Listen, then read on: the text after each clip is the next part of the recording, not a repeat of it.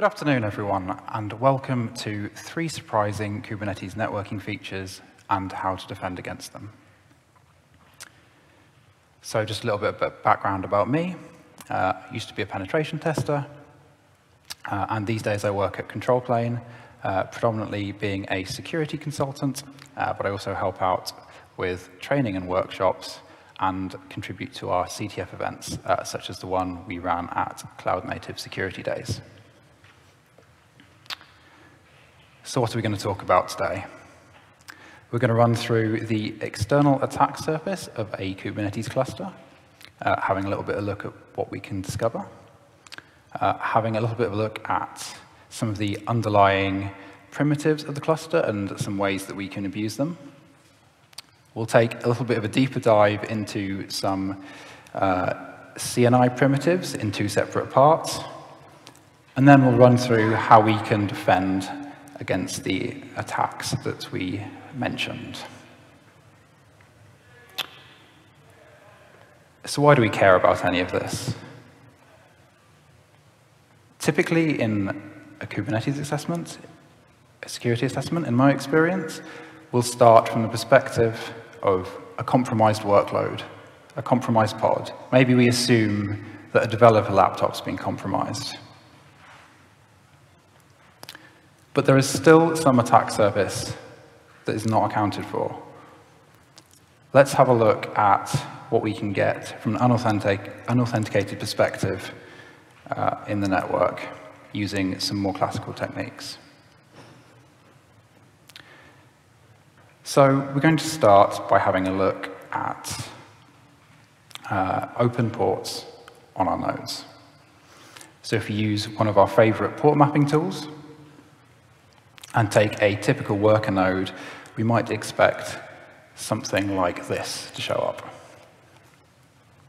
Uh, so as we're using Linux Kubernetes nodes, uh, it's fairly typical to expect SSH to be open, um, but port 10256 and 10250 are Kubernetes components.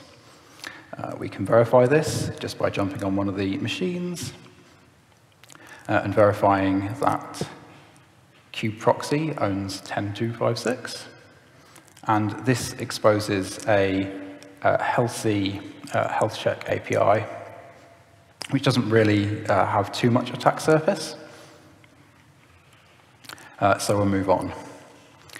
Port 10250 is a little bit more interesting, as this is the kubelet API. In modern versions of Kubernetes, this is authenticated, however. Um, and so from a perspective on the network where we don't have any credentials, there's not much to see here. On that topic, however, if we did find any credentials, um, there's an excellent tool um, from CyberArk called Kubelet CTL that actually documents this API.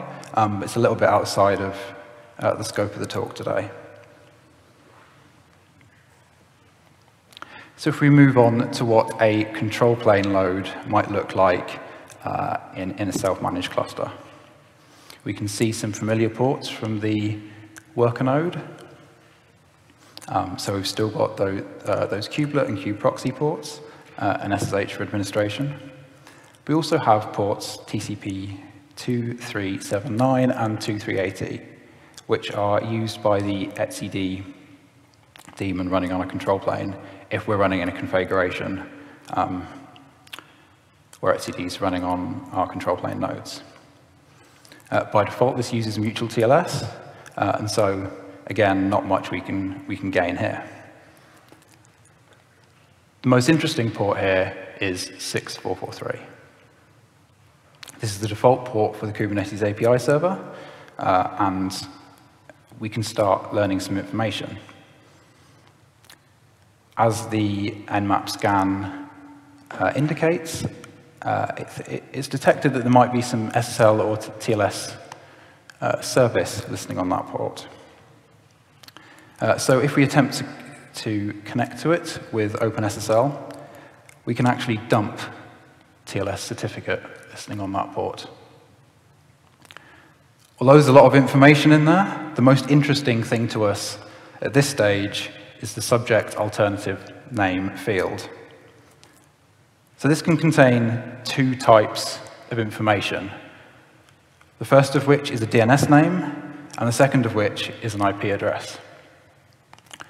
So by default, Kubernetes will uh, assign an IP address to each, or sorry, assign an IP address in the certificate to each IP address which the IP, API server listens. So in this instance, uh, we can see that it contains the IP address of the API server Kubernetes service, which is an information leak um, which could help us determine the Kubernetes service network range.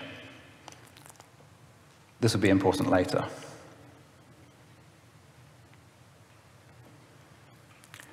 The API server also has one or two unauthenticated endpoints, probably the most common of which is the slash version endpoint.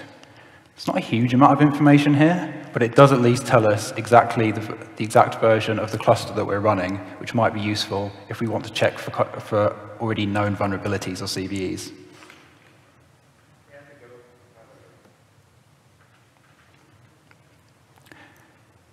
So just to make this a bit easier, I've written a little nmap script that will tell us both the subject alt names and that version information. Also makes it a little bit easier if we're enumerating across several hosts.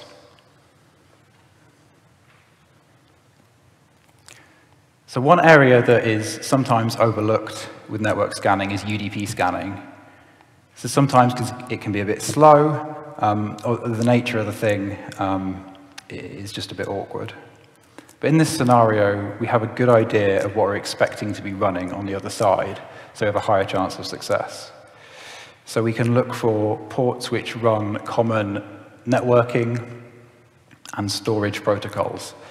So for example, here in the scan on screen, we can see that we have port 4789, which is commonly used for VXLAN overlay networking. We'll talk a little bit more about that later. So in this first section, all these issues have been uh, informational. Uh, we, we, wouldn't really expect uh, them to be, or we wouldn't raise them as any kind of e exploit, really. But in this next section, we'll have a little bit of a look at some of the primitives of the Linux nodes that we're running and see if we can achieve something that we might call an exploit. So for those of you that have set up a kubeadm cluster, or a cluster with a tool like kubeadm will be aware that before you're able to run the tool, the node that you're running on has to make meet certain requirements. And this is based on the, fe the features of the Linux kernel on the node. So one example of this is the IPv4 forwarding feature. And what this means, if we turn it on, is that the, the, the Linux machine will route IP packets based on the rules it's configured with. So this will be its IP tables rules or NF tables rules. So in the words of Rory McCune, Kubernetes is a router. And this has some implications that we may not expect. So if you consider for a moment, we have a uh, architecture, something like the above, where we've tried to harden our cluster by not exposing our API server to the public internet. So we implemented a jump host. And how we've implemented it is we've got one network, one subnet with our Bastion, and that's the same as the, all of our Kubernetes nodes. Using uh, the previous described uh, routing functionality, we can actually add routes to this to this bastion that will allow us to talk to pods and services within, within the cluster. So let me show you what I mean.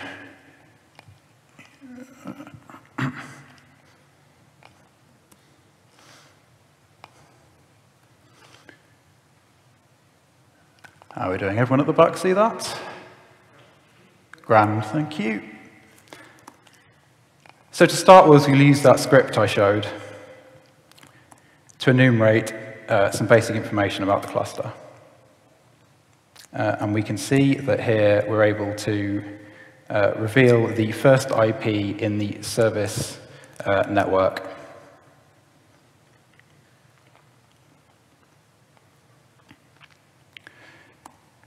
So what we'll do now is make a small assumption that this network is a slash 24 network. We can increase it at a later stage if we need to, but for the time being, this will allow us to allow, allow us to add a route uh, via one of the nodes uh, we previously discovered, like so. What we'll now do is look for the commonly deployed uh, Kubernetes DNS component, or core DNS. We know that this is going to listen on port TCP53, so we can scan this service range uh, for all IP addresses looking for that port. Great, looks like we found it. So we can see that uh, core DNS is running on the service IP 10100.0.10. This is really powerful because core DNS contains a lot of information about the state of the cluster. So what we'll do in this next step is we'll use the wildcard functionality of core DNS to list all other services within the cluster. And although that's slightly wrapped, hopefully you should be able to see uh, that we have uh, the core DNS service, the default Kubernetes service, and this other dashboard in the default namespace. So we should be able to just connect to that dashboard to see what it presents. Let's try it. And as we can see, we can connect direct to that service IP from our Bastion without any authentication. We're going to take this a step further and query core DNS for all the service endpoints. So these are all the pod IPs um, that the services in the cluster talk to. And what this allows us to see is some of the pod IPs in use by the cluster. Uh, so we can see down here, we have the 10.0.102 range IP addresses. And this allows us to make a further educated guess as to what network range the pod network is using. And we're going to guess that it's using the 10.0.0 slash 16 range. And again, we can add this, add a route to this via one of our nodes.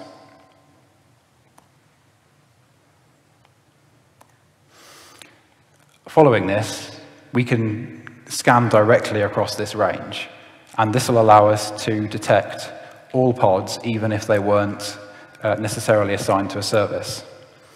So over here, we're just using three ports, but you could conduct a full port scan if you wanted to.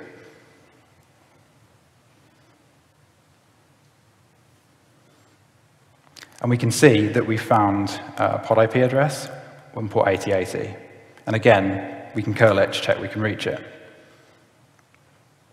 For this example, we're using the same dashboard, but with this time, we're using the pod IP address. We can confirm that we can reach that service from our Bastion without any authentication whatsoever.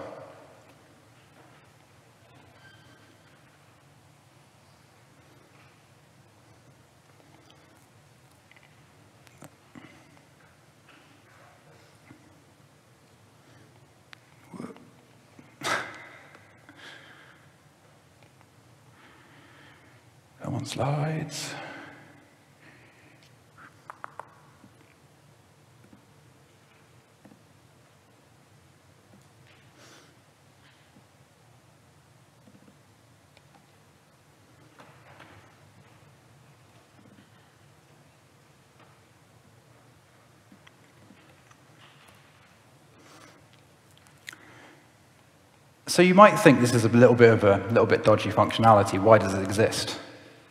But in truth, it's actually used as functionality by some of the existing CNIs. So both Romana and Kubeater make use of this. And it's with good reason, because there are performance and complex, uh, complexity benefits to using this kind of routing over, say, an overlay network. but I'll leave you to decide whether it's a valid, bug, valid feature or it is indeed a bug.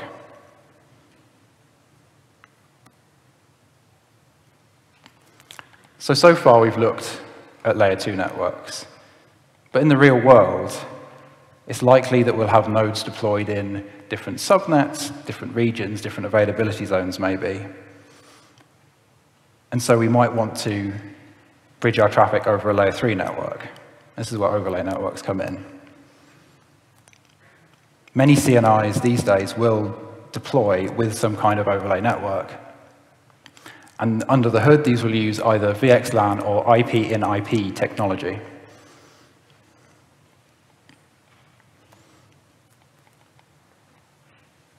So if you could consider for a moment the following architecture.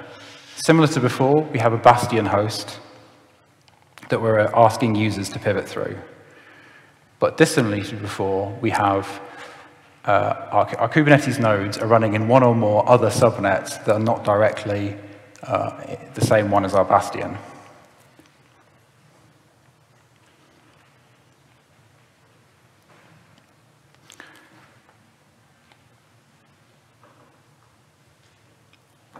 So to, to, give an overview of the, the IP-IP protocol, we'll look at the layers two through, two through four of the networking stack. IP-IP encapsulation works by encapsulating a layer 3 IP packet with another layer 3 IP packet. In a standard pod-to-pod -pod communication, the outer packet will contain the, the source node IP and the destination node IP. And the inner packet will use the source pod IP IP address and the destination pod IP address. However, if an attacker were to have access to a bastion, they may be able to forge or create malicious packets. So they, may, they would be able to change the content of any of these headers that we care about. So for, in order for an attacker to route to pods in our cluster, they would need to specify the right destination node IP in the outer IP packet and the right destination pod IP in the inner packet. However, they have some control over the source IP addresses.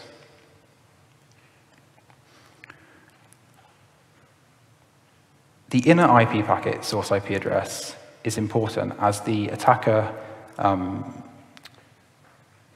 the attacker can set this to influence the return route of the IP packet. Let me explain that a bit.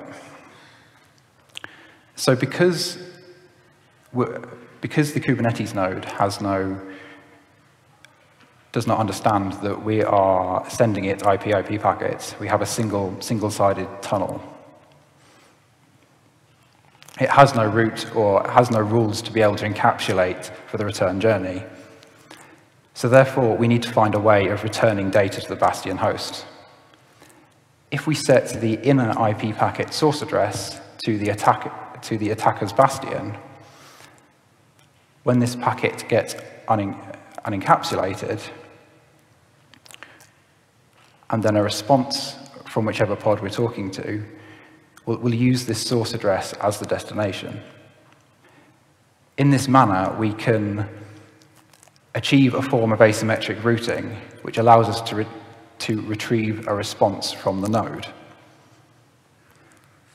The outer IP packet source address is important as we can use it to bypass host firewall rules in some scenarios. So I appreciate that's a bit to take in. So let, let me give a little bit of context here. This is a proof of concept script which demonstrates the concept using the Scapy packet manipulation library. We can see uh, that in the outer packet, we're using uh, the 10.123.0.10 uh, IP address as the source. So this is just any other node in our cluster. We can see that we're using the 10.123.0.20 IP address as our destination node IP. This is the one where the pod we're targeting is running. For the inner packet, we're using the Bastion IP address uh, as the source, and the uh, target IP address of the pod, which in this case is core DNS, as the destination IP of the inner packet.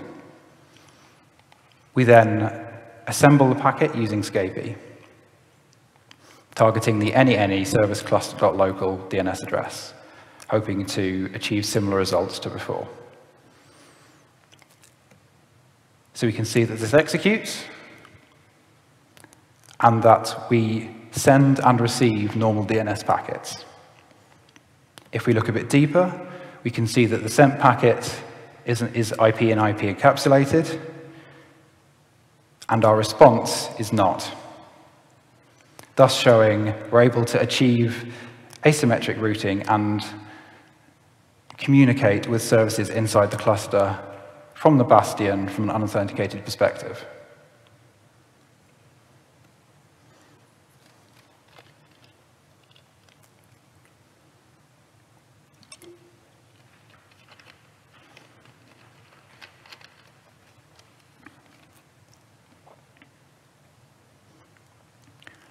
So not all overlay networks use IP in IP. We also have VXLAN networks.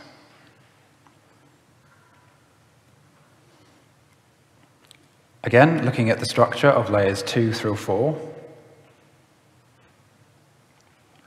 we can see that this time it is much more complicated.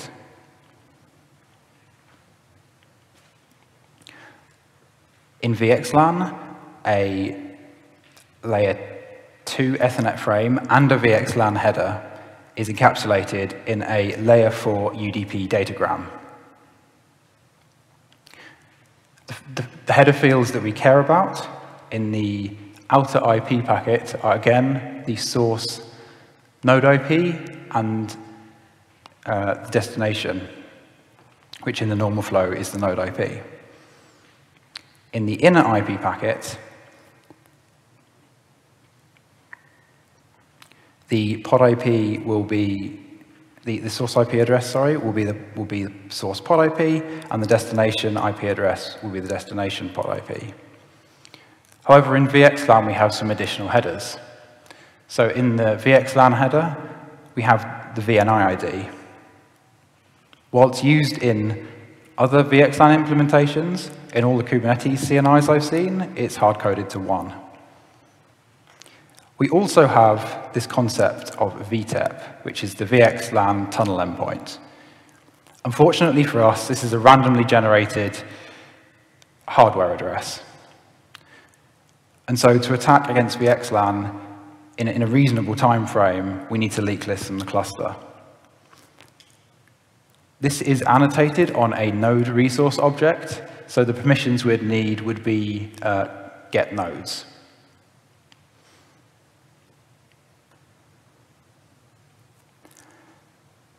So thinking back to our network architecture, where we have that bastion in a separate subnet, and we have our nodes in adjacent subnets. let's have a look at which headers uh, an attacker would want to modify. So in order to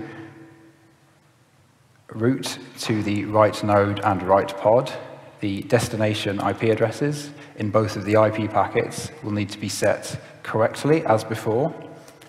And as before, we can set the source IP address in the inner IP packet to achieve asymmetric routing.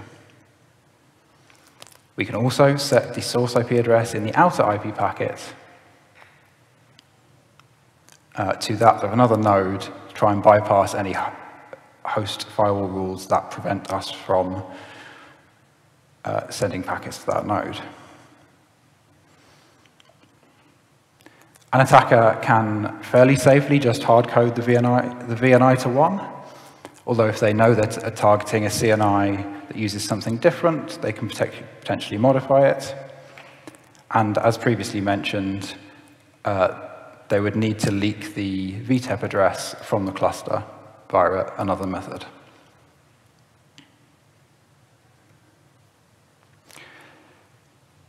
So let's have a little bit of a look at how that looks in a proof of concept script.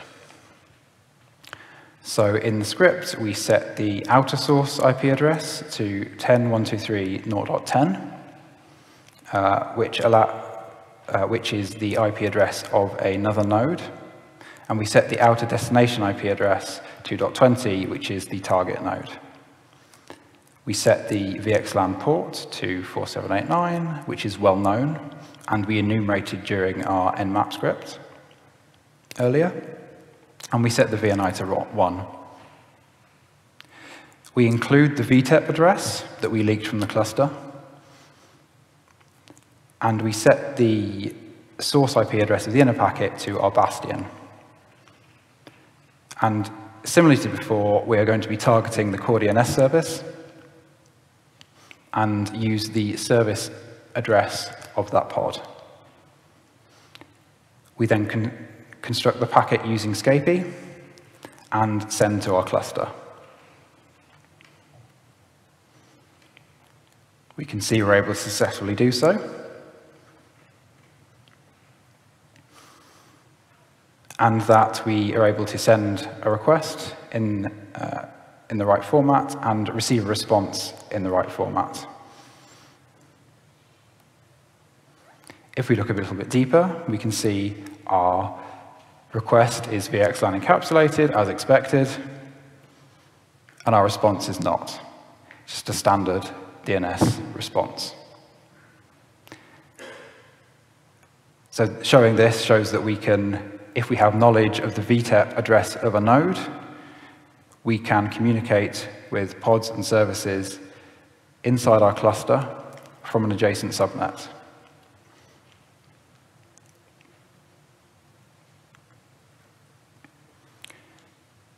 So some of the, the, the eagle eye amongst you will have noticed that in the proof of concept scripts, they're run as the root user. Although we used it for the proof of concept, we could use the bash dev-tcp and dev-udp pseudo devices to achieve similar results. So we don't necessarily need the root user to, to achieve this attack. In order to mitigate some of the level two attacks discussed in the first section, I would strongly recommend that you isolate any Bastion hosts or any untrusted workloads in different subnets to that of your nodes. If we do, if we do that, it also means that we're able to write firewall rules, um, strict firewall rules, to prevent any kind of uh, other traffic traversing between these machines. So for example, in the, in the second half, uh, there were no, in, in my lab environment, there were no rules between these two subnets to prevent that traffic, which is what, one of the reasons why we were able to do it. In terms of Kubernetes native things we can do, network policies also help us here. We can implement policies bet uh, between workloads in our cluster, so between individual pods, and this will prevent us uh, being able to communicate with pods from outside the cluster. So we wouldn't have been able to curl that unauthenticated dashboard. Additionally, we can also add network policies around kube system if we wanted to prevent access to privileged components. So if we added a network policy to prevent, uh, we could add a network policy to prevent access to core DNS um, from outside the cluster and is probably a good idea in terms of general hardening. I mentioned a couple of times that we could set the source IP address of the outer IP packet to avoid host uh, firewall limitations. This is more commonly known as IP spoofing, and routers often have protection against this, but it's not always turned on. So in my research, some CNIs uh, needed this, some didn't. Um, and so uh, you may want to investigate turning this protection on um, to prevent these kind of attacks. The Linux kernel actually has a um, feature to prevent some of the uh, asymmetric routing that I mentioned earlier, called reverse path filtering. Um, most distributions don't actually enable this by default, so it's either off or in a permissive mode. Um, you, you, could experiment with setting this to a strict mode um, so that um, these kind of uh, attacks are not possible, although it's unclear whether this will infect, affect any of the Kubernetes functionality. Um, so you, you should test this well. So I've released the uh, Nmap Kubernetes info script uh, on GitHub and the Kubernetes, um, the other proof of concept scripts um, that you're welcome to use and contribute to. Um, and that's my Twitter handle if you want to follow me. Um, but thanks for listening.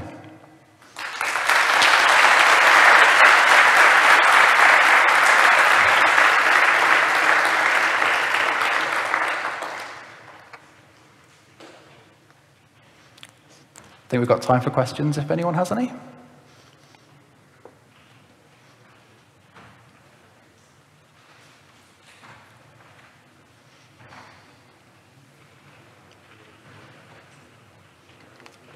Yes, uh, down at the front. I think we've got a mic. Sorry.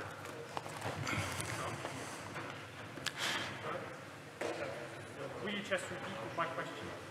Um, could you bypass uh, network policies uh, using that method um, if you just used an internal IP address?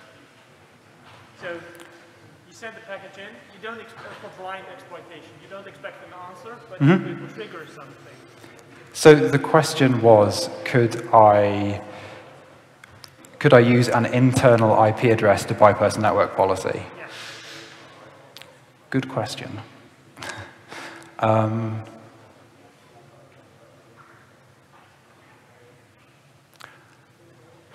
I don't think so, because I think that the in order to bypass network, policy, you would need to be able to set the IP address of the inner packet, which, which you... What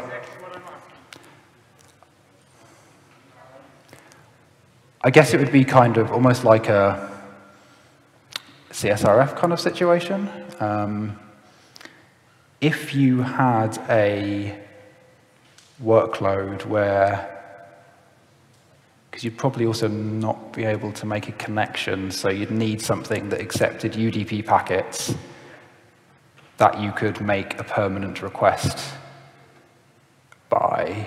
Yeah, so, number, number. It would be quite convoluted, I'm not sure.